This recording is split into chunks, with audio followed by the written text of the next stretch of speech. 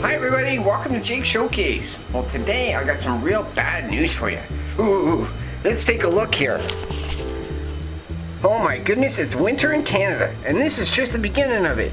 So what I thought I would do is I would take you top to bottom of how you gotta dress for the Canadian winter. Let's go.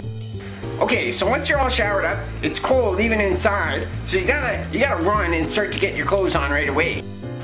A lot of times people like to keep their beard during the winter to try to keep you a touch warmer, but me, I, I really like the shave look either time of year. One of the things in uh, Canada is that you don't have to do your hair when it's out because you're going to be putting a lot of hats on, and uh, but make sure you dry it real good because uh, you know that's that's where you can catch a cold. Of course, you got to start with your shorts. So I uh, usually wear a couple pairs of uh, shorts or long johns, you know, to get underneath. Remember to really dry that hair as best as you can. Now, of course you need socks, but in Canada, you actually need about three pairs of socks. Usually what I do is overlayer, overlayer, overlayer before I put on my boots. Trust me, you need... There's one layer of socks. There's two layers of socks. And there's three layers of socks. Ready to... Next thing is you need to have uh, uh, pants, right? Now again, you can multiple layer, uh, or you can just wear one depending on how cold it is out, but it's pretty cold here where I live, so I'll probably be putting on a couple layers. My first layer of jeans on here, I, uh, I tend to like the old blue jeans. Over top of that, I usually like to take big baggy, jean, uh, big baggy pants and put them over.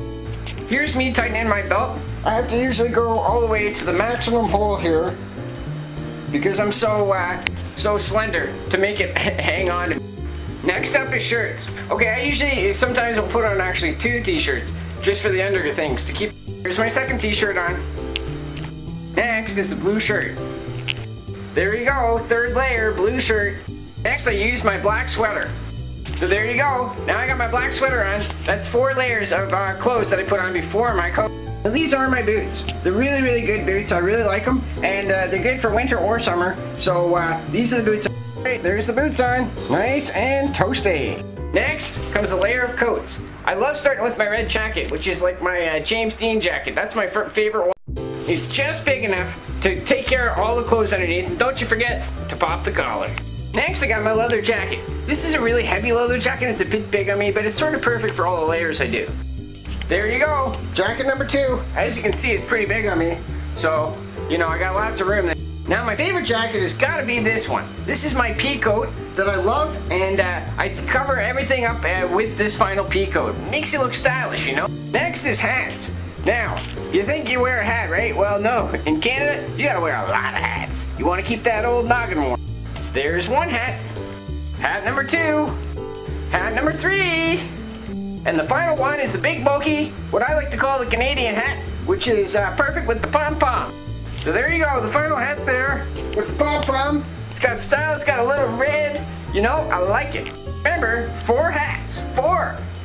For gloves, you need them sort of under mitten. Then you have to have the nice stylish glove over top, or at least that's what I did. Now there you go, so you can't really move your hand too good, but hey, yo, it's warm. Final step, and maybe my favorite piece of equipment is this beautiful red scarf I have here. And, uh, you know, I really think it makes you look stylish and it keeps you warm. Keeps your nose warm, too. There you go. Not sure how many layers that is, but this is what you got. Quote to the Canadian freeze.